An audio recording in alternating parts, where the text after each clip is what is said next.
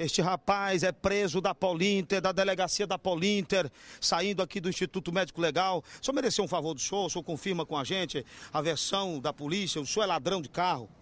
Ladrão de carro o quê? Pessoal, ladrão de carro não. Você está na Polinter, a Polinter trata questões relacionadas a roubo de automóveis, é isso mesmo? Não é isso, não é isso não? O senhor é natural de onde? Sou de União. Mas qual é a bronca que o senhor está respondendo?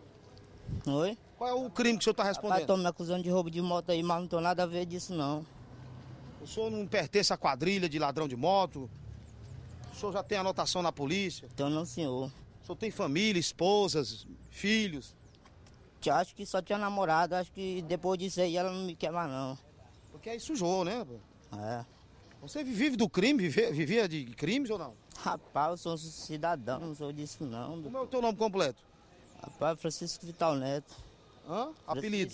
Tem apelido não, tenho apelido é macaco. Lá em. Lá, lá em União mesmo que você mora.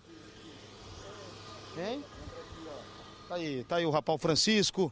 Vai agora, não é se agasalhar aqui é, no carro da bolacha, no carro, no táxi da polícia.